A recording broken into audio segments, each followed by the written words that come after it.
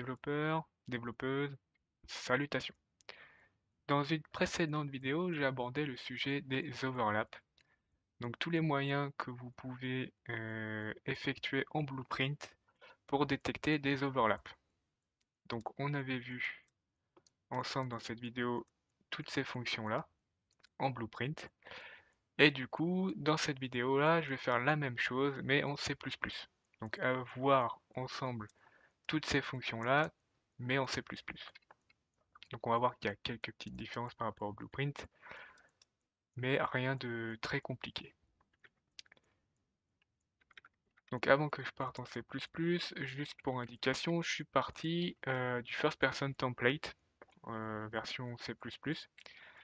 Et du coup, j'ai mon euh, first person character ici, donc les classes de base hein, qui sont dans le template. Euh, on verra après cette classe ici, en fait, qui provient d'une précédente vidéo. Et ici, je me suis juste fait, en fait, une, une classe qui a compound class actor. Tout simplement pour vous éviter, en fait, de me voir, euh, voilà, mettre du code, on va dire, de, de base, voilà. Euh, qui peut rallonger la vidéo, et surtout le temps de, compilation chez moi qui est assez important. Du coup, sur cette classe, j'ai juste rajouté un sphere component pour ma collision et un static mesh component euh, pour mon visuel. Et pour tester aussi les collisions dessus par rapport à cette euh, shape ici. Donc on va voir ensemble tout d'abord l'event actor begin overlap. Donc celui-là, il est très simple. Euh, dans n'importe quelle classe qui dérive d'un actor, vous pouvez en fait appeler hop, actor begin overlap et ici faire un add dynamique. Donc pour bind une fonction à cet event vous lui indiquez la classe euh, enfin l'user object. Donc ici c'est notre classe, et la fonction que vous voulez euh, bind à cet event. Donc ici, imaginons que je sache euh, pas vraiment quelle est la signature en fait que je dois euh, mettre dans ma fonction. Donc si je la crée ici par exemple, on peut la faire en private. Donc il faut absolument que ça soit une uFunction. Donc ça il vous l'indiquera de toute manière.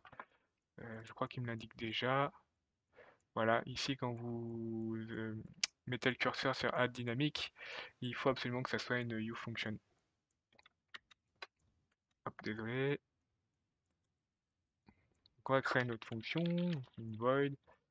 Euh, je vais mettre onActor overlap event. Et ici, imaginons, voilà, je sais pas trop euh, euh, ce que je dois mettre en fait dans ma fonction. Donc ce que vous pouvez faire, c'est aller ici, aller dans la declaration. Donc ici, on est dans la classe actor. On va remonter un peu. Et ici, j'ai toutes mes signatures, en fait, tous mes delegates qui sont euh, euh, déclarés. Et on va pouvoir retrouver notre actor begin overlap, signature. Et vous allez pouvoir récupérer ici, en fait, les deux... Euh, en fait, la première ici n'est pas nécessaire. Et vous pouvez récupérer ces deux-là. Hop, donc je leur mets ici dans ma fonction. Forcément, il faut enlever les virgules. Vous pouvez l'implémenter. Alors où est-ce qu'il me l'a mis? Ah d'accord, il me l'a mis au-dessus du constructeur. Moi je vais le remettre ici.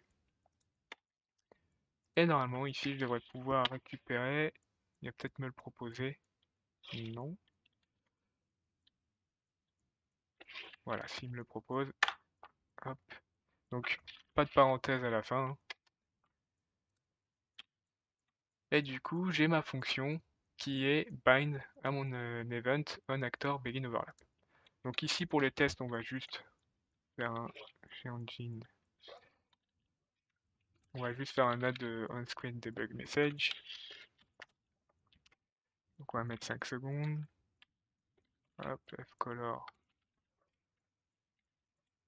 on va mettre ça en cyan. Et mon texte. On va mettre actor overlap detected, tout simplement. Donc ici, que ce soit en fait mon, ma sphère collision ou ma mesh, ou mon mesh, pardon, si évidemment mon mesh génère une collision event, ce qui va peut-être être pas le cas ici, euh, je vais avoir le message qui va s'afficher euh, actor overlap detected. Donc on va compiler, on va lancer le reload, j'espère que ça va pas être trop long.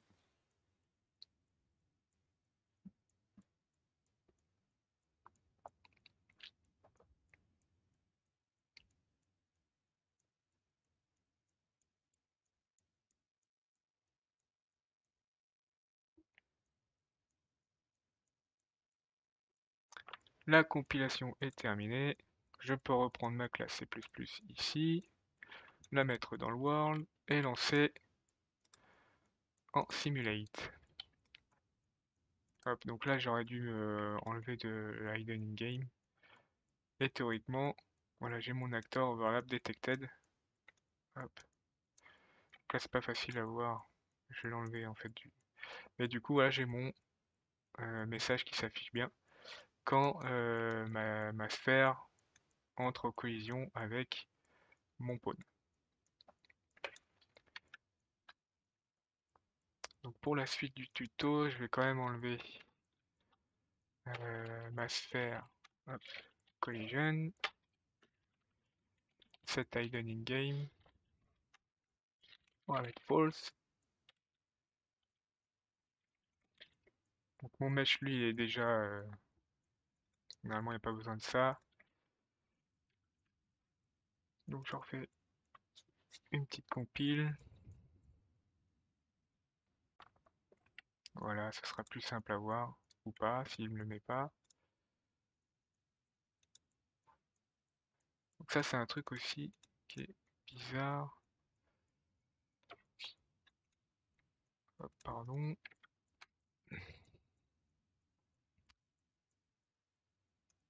Euh, set hidden game false. Euh, c'est peut-être parce que c'est mon root component. Donc le mieux pour savoir, c'est qu'on va aller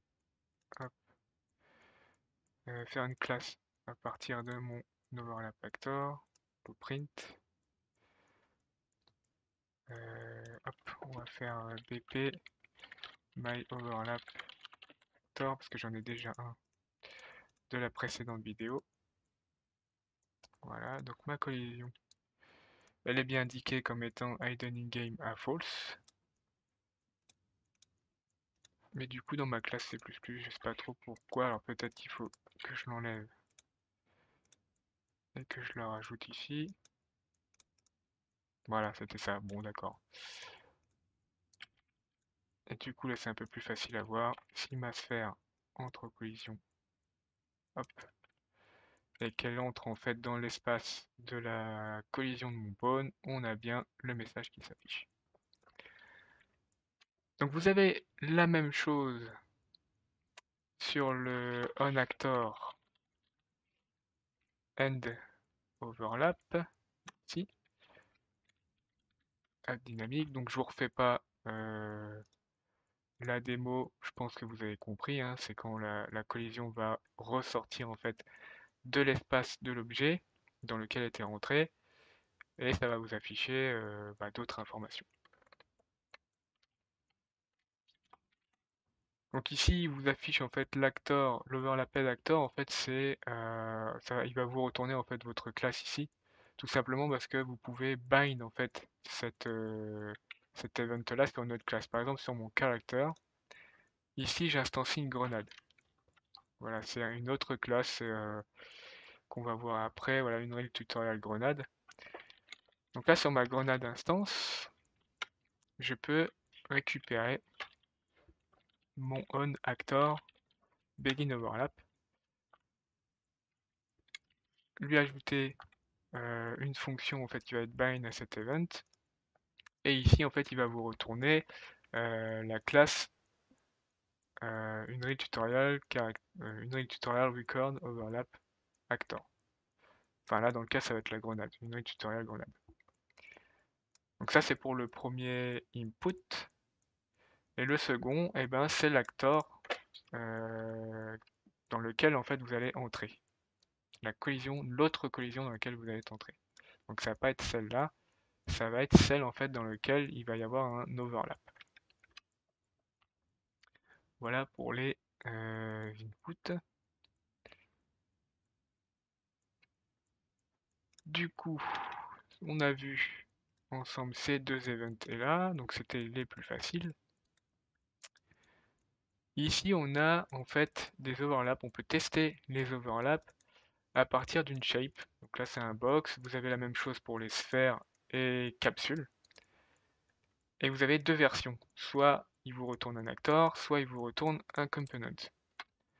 Donc en C++, en fait, vous allez avoir qu'une seule fonction qui va faire ça. Ça va être euh, getWorld euh, overlap multi. Alors ici, vous avez channel, profile ou object, object type. Donc si vous avez vu mes précédentes vidéos, vous devez savoir à quoi ça correspond. Donc ici, vous devez lui donner différents inputs. Vous avez d'abord le overlap result. On va créer ensemble f overlap result. Euh, alors je crois que c'est un array. Hein. Pas sûr. Oui voilà, c'est un array, ce qui semble logique. Hop, on va appeler overlap result, toujours aussi original dans le nom des variables. Ensuite, vous avez en fait votre position, rotation, donc là c'est un quaternion. Ensuite, votre collision channel, donc là ici on peut déjà mettre notre overlap result. La position, on va prendre la position de l'actor, actor location. On va tout de même faire ça au tick. Voilà, pour le tuto, on va faire ça au tick. Hein, c'est pas forcément le optimiser, mais c'est pas grave, c'est juste pour vous montrer euh, la fonction. Là, on va faire un getActor quaternion, puisqu'on s'en fout. On va faire une sphère. Donc là, sur, euh, quand vous faites une autre shape, vous pouvez indiquer un quaternion euh, différent. les quaternions, c'est assez chiant à utiliser, mais on verra ça dans, dans une autre vidéo. Ici, vous pouvez lui dire quel channel en fait il va utiliser. Donc euh, par exemple, moi je vais utiliser euh, Visibility. Ici, vous allez définir votre collision shape. Donc là, vous faites F collision shape. Et vous allez créer bah, votre différentes shapes. Donc il y en a trois en fait euh, de disponibles, box, capsule et sphère. Donc ici, on va faire une sphère.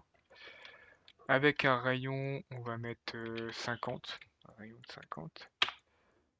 Et ici, vous avez deux hum, paramètres optionnels, en fait, le collision query param et le collision euh, response param.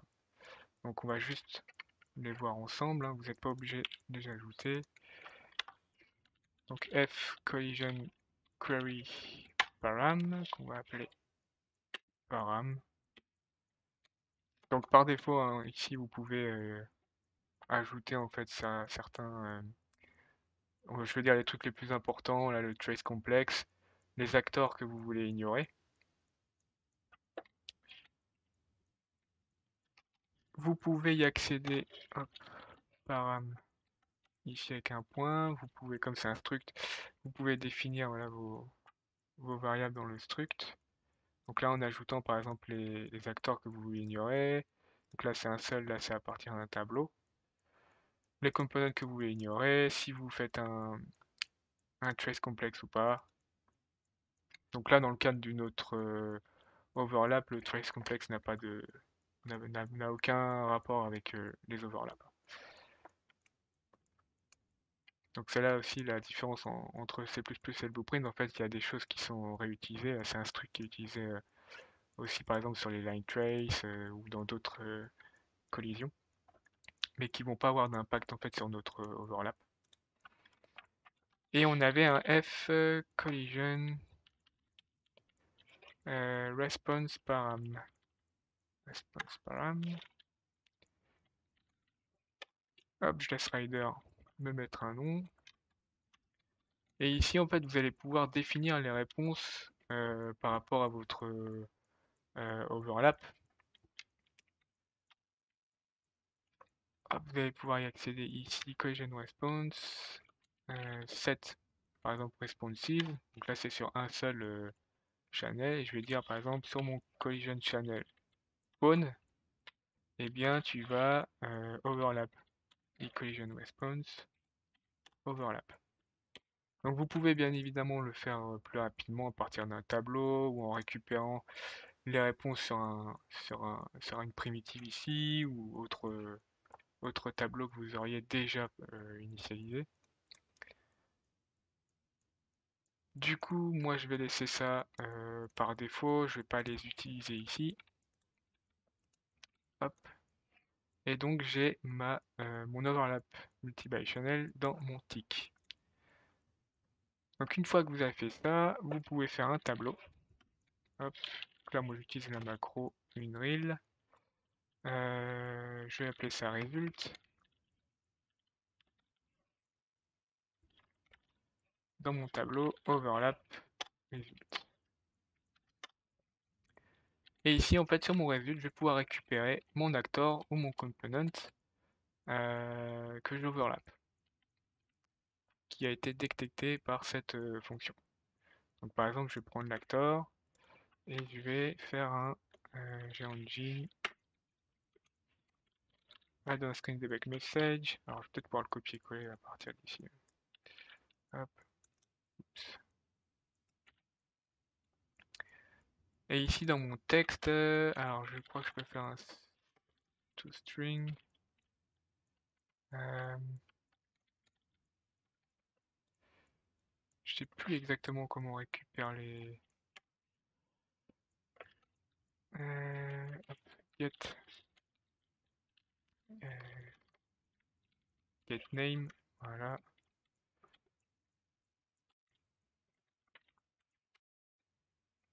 On va le mettre ici. Donc là, il va me retourner en fait tous les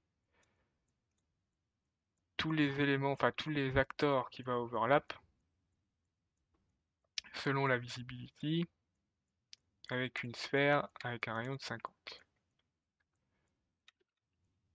Donc on va compiler vite fait.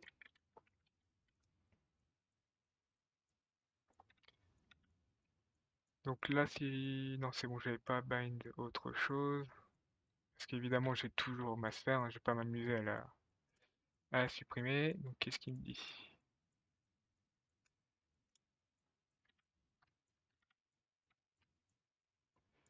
Euh, oui. je vais laisser ça comme ça. Forcément, il n'est pas content.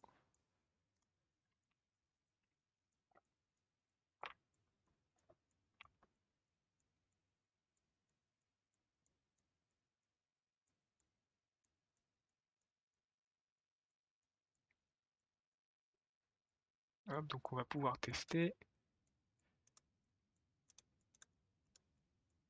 Donc là, en fait, j'ai oublié de mettre dans in your actor euh, la classe elle-même. En fait, comme j'ai ma sphère ici, en fait, il s'overlap lui-même. Il me retourne. Donc là, je sais pas s'il va me retourner. Euh, normalement, il devrait me retourner mon pawn.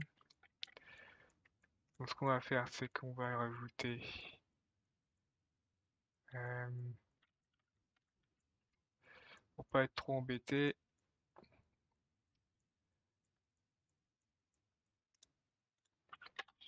On va désactiver la collision.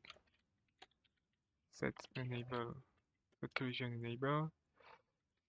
Euh, e collision enable. Et on va mettre no collision.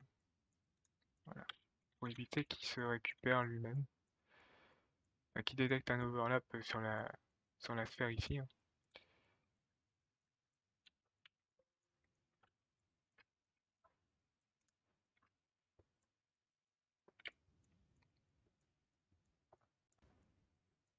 Voilà. je vais quand même le supprimer, hop, et en remettre un autre. des fois, on a vu tout à l'heure, ça pouvait euh, poser souci. Donc là, il ne retourne absolument rien. Et si je vais dans mon pawn, théoriquement, il devrait détecter. Mais là, c'est pas le cas. Donc, qu'est-ce qui se passe euh, Ici, j'ai bien mon tick. Get world, overlap multi by channel.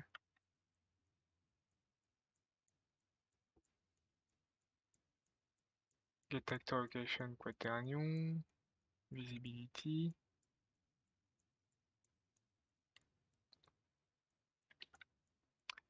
Est-ce que mon pawn overlap la visibility? Je vais pas regarder ça du coup. Euh, il ignore, donc tout simplement ça ne peut pas fonctionner. Mettre ça en custom et on va mettre ici en, bloc. Voilà, donc là du coup ça devrait fonctionner. Voilà, mon first person character. Parfait. Donc du coup vous pouvez aussi récupérer euh, ici dans votre result le component get component. Hop. Donc là, il va nous retourner en fait la, la collision euh, du pawn qui est capsule. Toujours chiant à sélectionner ça. Hop. Donc là voilà, collision cylinder, qui est bien en fait le nom de la capsule. Parfait. Donc on a vu en fait ici euh, en C++ le box overlap actor, box overlap component et les autres shapes en fait, box, euh, sphère et capsule. Donc c'est la différence par rapport au blueprint où vous êtes obligé de le faire, euh, vous avez en fait des, des nodes différents. En C++ en fait vous avez juste à créer la shape ici. Ensuite on a vu les component overlap actor. Donc en blueprint, on avait, vu qu'en fait il faisait la même chose qu'ici, sauf qu'il prenait en fait une primitive en input. Et par exemple, il récupérait la collision de ma primitive static mesh pour euh, définir la shape.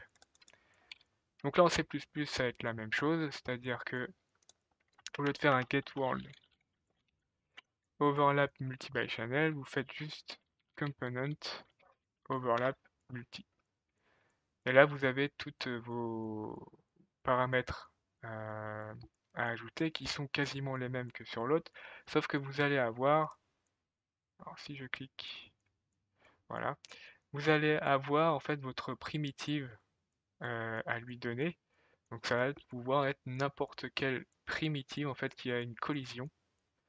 Donc ça soit bah les sphères collision, les shapes en fait de base, euh, un static mesh ou un skeletal mesh. Donc, euh, étant donné que c'est euh, une primitive, vous pouvez lui donner tout et n'importe quoi, tout ce qui est une primitive. Donc, par exemple, euh, un arrow, mais il va absolument rien se passer. Vous n'allez avoir aucun résultat qui va vous être retourné, tout simplement parce qu'un arrow n'a pas de collision et ne va donc générer absolument rien. Donc ici, on peut faire le test avec mon mesh éventuellement. Donc je lui redonne ceci. Donc là on va cacher, on va cacher, commenter cette euh, partie du code. Là j'ai ma primitive, donc je vais lui donner mon mesh. Qu'on va définir en blueprint. Et ensuite je crois que c'est à peu près les mêmes. Euh, sauf ici. Ok, il va venir récupérer en fait les informations de collision sur votre mesh. Donc si euh, les différents, quand je parle des informations de collision, ça par exemple ici, il va venir récupérer le preset et du coup les réponses en fait que vous avez euh, définies. Du coup, moi j'ai plus besoin de ça. Hop. Donc là j'avais euh, ma collision, voilà, c'est que j'enable à faux. Et du coup là j'ai mon mesh. Donc on va voir ça fonctionne. Euh, du coup, on va récupérer ça.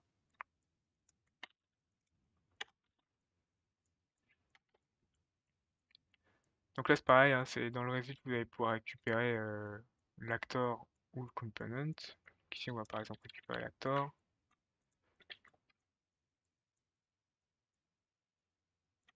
Et on va compiler.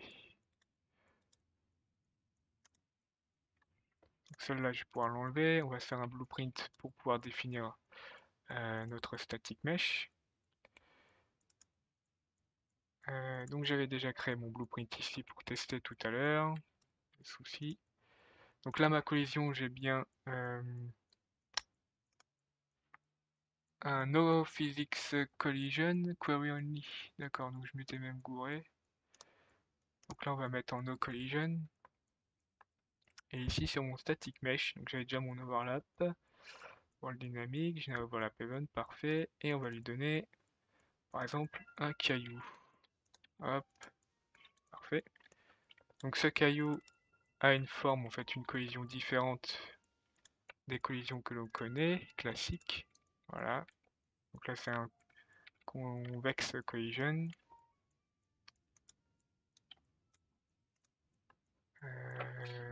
J'étais là-dessus, parfait. Euh, sur celui-là, faut pas que je me gourre.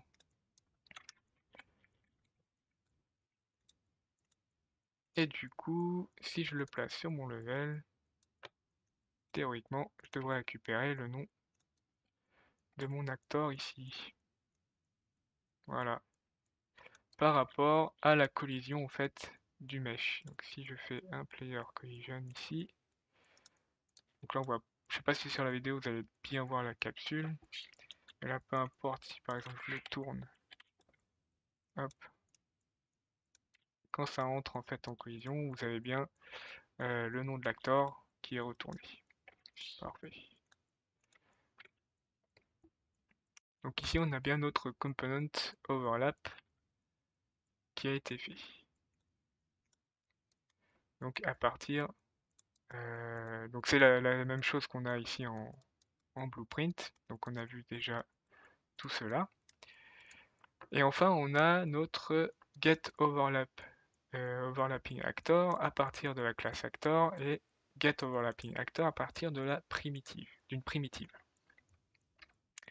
Donc le get euh, actor est très simple, comme il fait partie de la classe actor, vous pouvez l'appeler directement ici. Get overlapping actor ou get overlapping component. Donc il va vous retourner euh, un array en fait. Donc ici on peut se faire un array d'actors. Voilà. qu'on va appeler euh, actor over laped.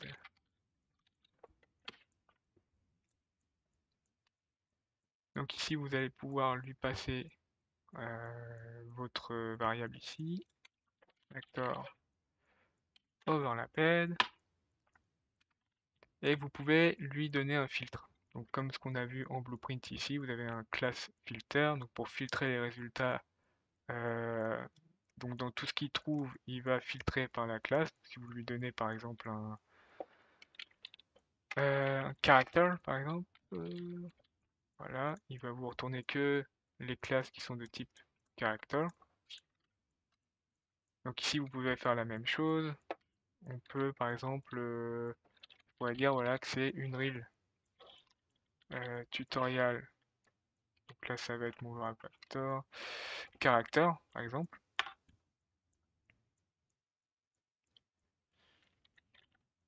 Hop. Donc là, il va me retourner toutes les classes en fait, euh, enfin tous les acteurs qui ont comme base classe une real tutorial record character. Euh, voilà mon caractère en, C++. Donc ici, on va pas mettre de filtre. On fout, on va récupérer juste les acteurs qui l'overlap. Et du coup, on va pouvoir faire un nouveau for auto. On va appeler ça résulte pareil. Dans mon actor overlapped. On va faire pareil un petit print. Et ici, résulte euh, get name. Donc là, ici, je vais pouvoir commenter cette partie du code. Qu'est-ce qu'il me dit ici? Ah oui, une erreur de orthographe, on s'en fout. Donc là, pareil, je l'ai fait dans le dans l'event tick. Donc là, je pourrais mettre dans le level euh, soit le, la classe euh, C++ ici, soit mon blueprint. Donc pour l'instant, je garde mon blueprint, hein, ça change rien. Et du coup, on a bien le l'event qui se fait.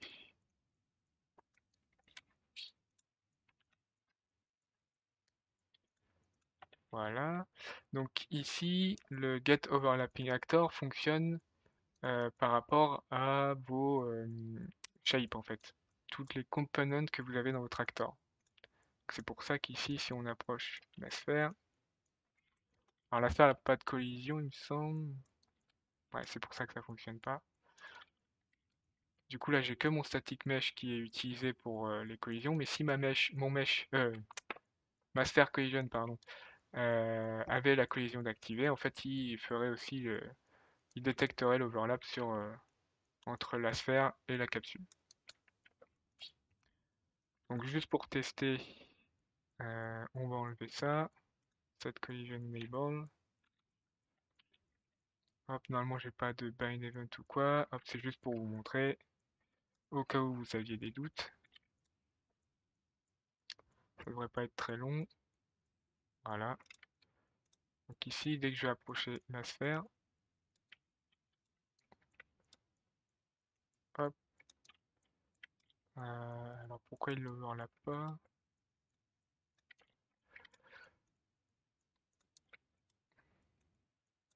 D'accord.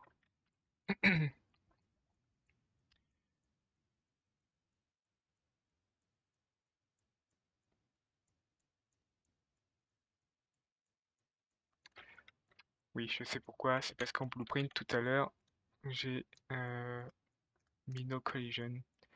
On va le remettre en overlap all dynamique. Hop. Voilà, donc là ça devrait fonctionner. Voilà, parfait. Hop. Donc là on a bien la collision entre la sphère et la capsule qui est détectée. On va attendre ici que ça s'enlève. Voilà. vous avez bien vu que ça a fonctionné. Donc il récupère en fait toutes les primitives que vous avez dans votre actor et va venir tester euh, s'il y a un overlap qui est détecté. Donc ça correspond plus ou moins euh, au bind event qu'on a fait tout à l'heure sur le on actor begin overlap. C'est juste qu'ici en fait vous pouvez appeler euh, cette fonction là quand vous voulez. Donc par exemple ici au tick, à chaque frame il va tester les collisions, alors que le bind event va être appelé simplement euh, quand il va y avoir une collision détectée. Donc voilà pour le get overlap actor. Qu'est-ce qu'on avait vu d'autre? À partir d'une primitive. Donc là, ça va être exactement la même chose, sauf que vous allez le faire à partir d'une primitive. Donc je vais le faire ici. Ça commence à être un peu le bordel. Euh, je vais reprendre ma sphère collision. Et je vais faire un get overlap actor ou un get overlap component. Donc je vous montre pas avec component, je pense que vous avez compris maintenant. Donc ici, on va voir la même chose. Euh, c'est, je sais pas si c'est vraiment utile que je vous fasse la démo. Je pense que vous avez compris.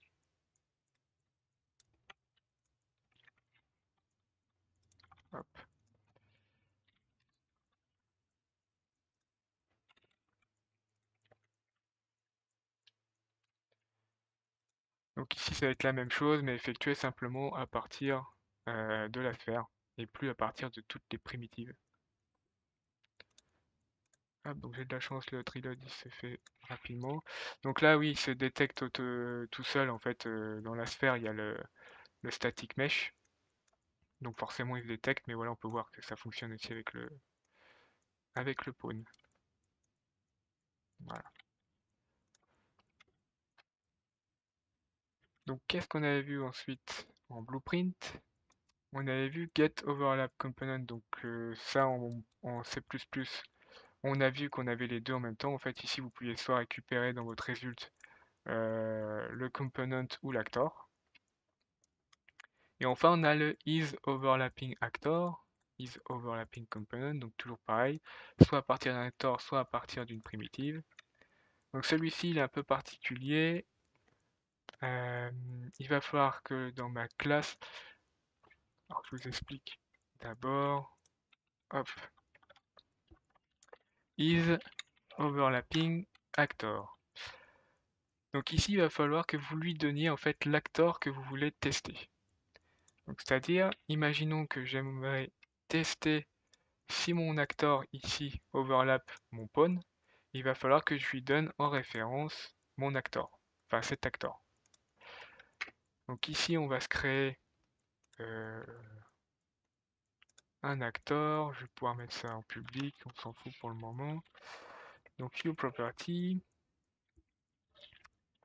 Euh, edit euh, default only. Non, edit. edit anywhere. Blueprint read write. Catégorie. Actor. Bref, donc ici, pour pas qu'il y ait de soucis. ça. Et là, on va mettre un actor. Et ça va être notre actor ref. tout simplement. Donc je vais pouvoir ensuite ici lui indiquer mon actor ref.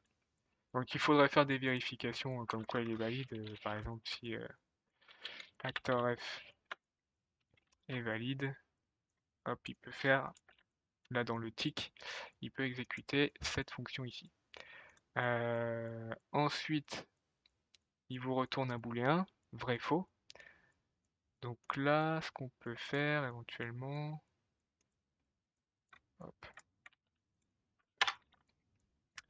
Je ne sais pas si c'est possible de faire ça. Euh, si je fais un hop sur le texte,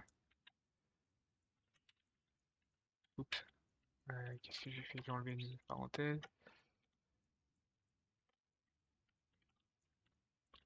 D'accord, donc je vais faire un point, mais ça supprime. C'est parce que j'ai pas ça d'activer.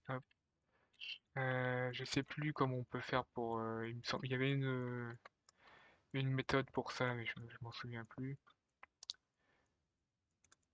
Donc là, on va le faire de façon un peu foireuse, c'est-à-dire Faudrait que je retrouve dans une prochaine vidéo, genre, euh, je referai ça correctement. Hop.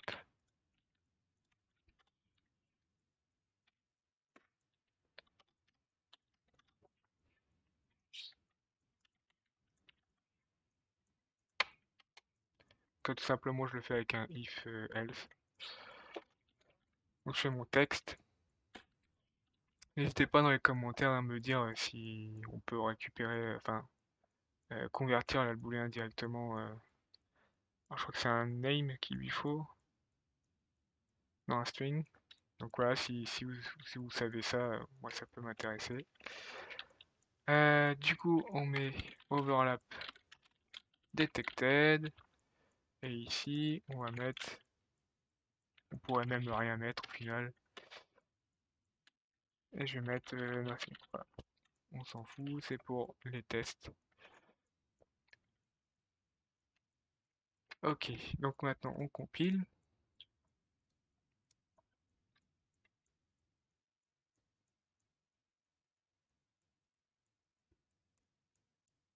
Et théoriquement, ici on devrait avoir, voilà, parfait, notre variable actorF. Donc je vais pouvoir lui dire par exemple mon pawn. Donc si je lui mets rien, hop, pour que vous puissiez voir quand même. Donc là il se passe rien, parce que bah, la variable est nulle. Donc c'était une vérif que j'avais fait moi en C++. Et si je lui mets mon pawn, donc là il va me mettre nothing parce qu'il il détecte curl et que dalle, j'en bafouille. Et si je rentre en collision avec mon pawn, il détecte bien mon, ma collision. Donc ici pareil, il récupère toutes les primitives hein, que vous avez sur votre, actor. Maintenant qu'on a vu les fonctions qu'on pouvait appeler en C++, on va s'amuser avec un petit exemple concret. Dans une précédente vidéo, je m'étais amusé voilà, à lancer des projectiles comme ça par rapport à une trajectoire.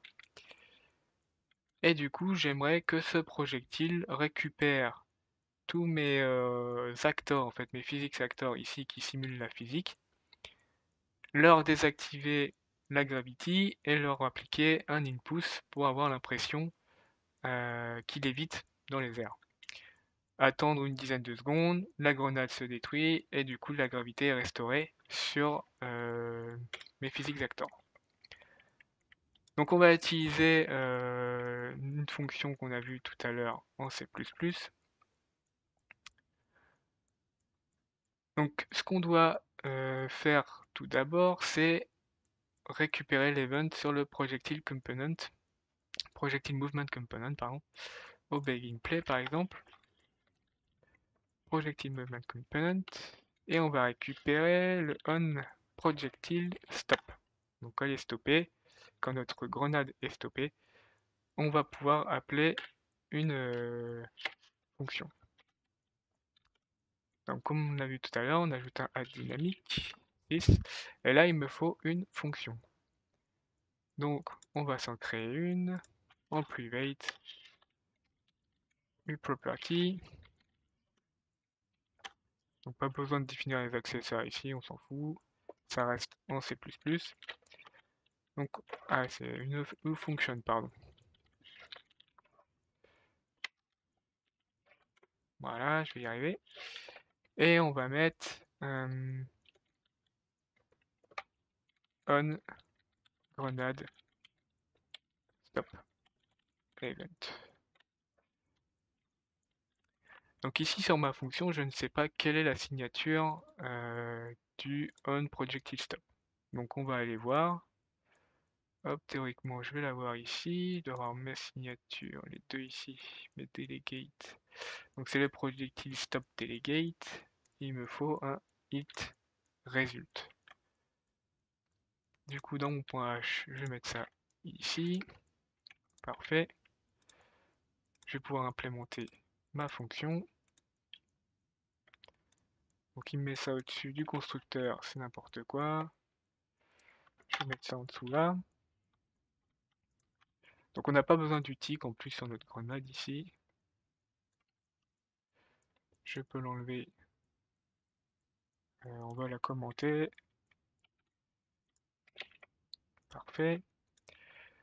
Donc sur notre grenade stop, on va appeler la fonction getWorld overlap multi by channel. Donc il va nous falloir plusieurs choses. Donc le f overlap result, un array, t-array, f overlap result qu'on va appeler euh, overlap result, voilà, c'est rider donner un nom. Qu'est-ce qu'il nous faut d'autre? Donc un vecteur, le quaternion, le trace channel, donc on peut déjà hop, overlap result. On va récupérer l'actor location, l'actor quaternion,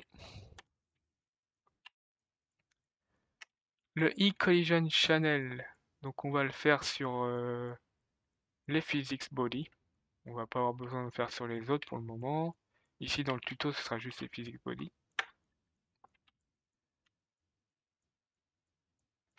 La collision shape, on va prendre une sphère.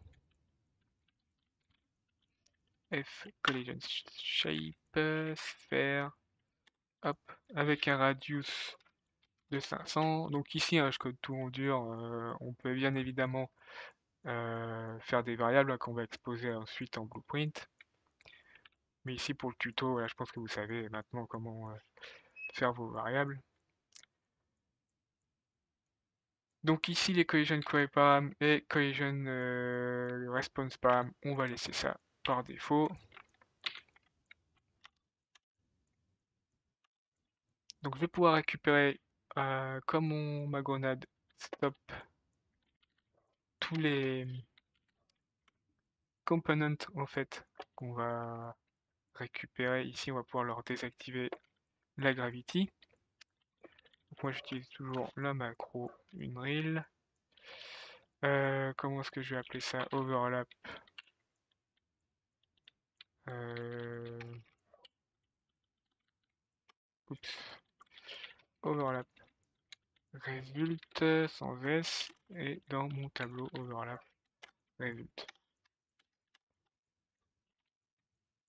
Donc ici,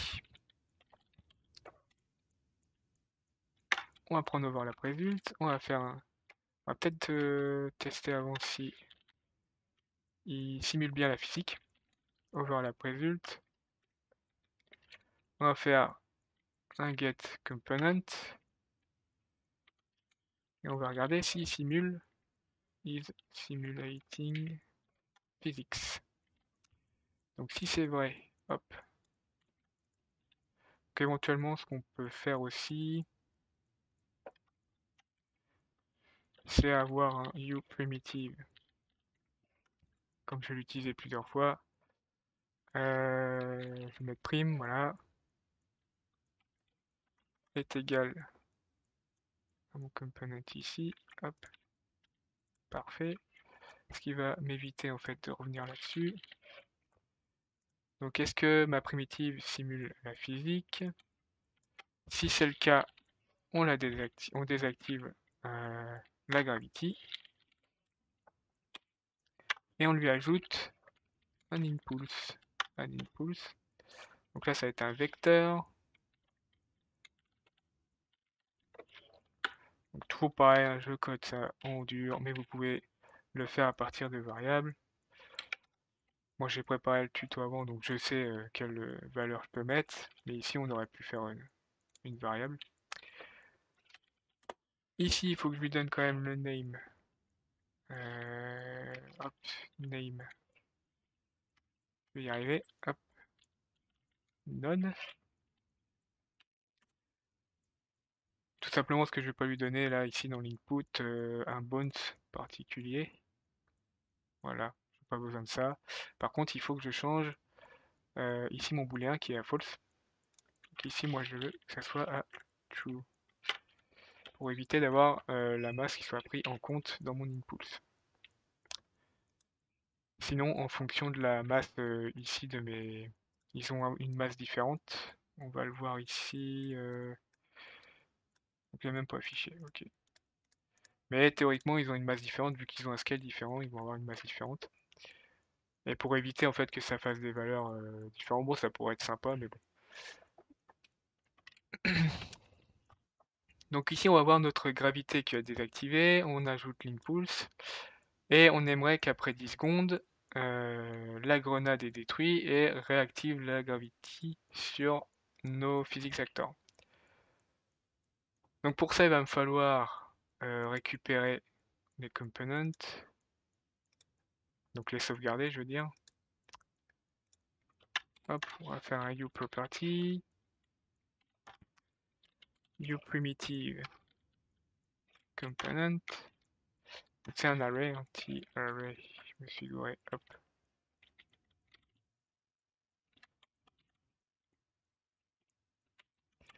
Un array de primitive component. Euh, je vais appeler ça primitive over la ped. Parfait. Ici, je vais pouvoir sauvegarder ça dans mon tableau. Primitive over la ped. Add. Et j'ajoute ma primitive. Parfait. Donc une fois qu'il a fait ça, donc le onGrenade est appelé qu'une seule fois. On va faire un timer, ftimer handle. On va appeler ça handle. On récupère le get. On fait un set timer. On lui donne notre handle. Ici, il va nous falloir une autre fonction qu'on va bind new function void et je vais m'appeler ça restore euh, gravity on primitive.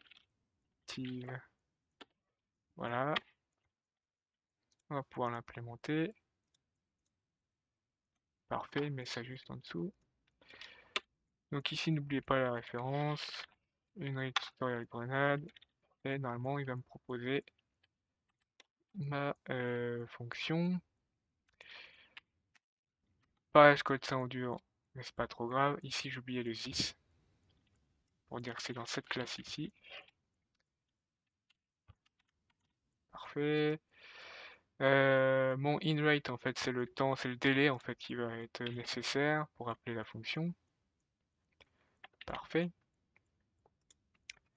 Donc ici, tout simplement, je fais mon for de nouveau. Euh, je vais appeler ça, oh, pareil, prime.